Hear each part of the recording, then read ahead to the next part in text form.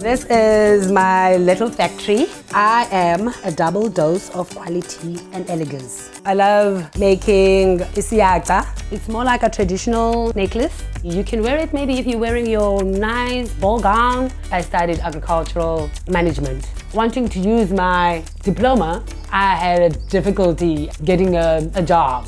I could have stayed unemployed, but I thought, you know what, I need something that will broaden my mind. And then I went to Hope Factory, which introduced me to Socionext.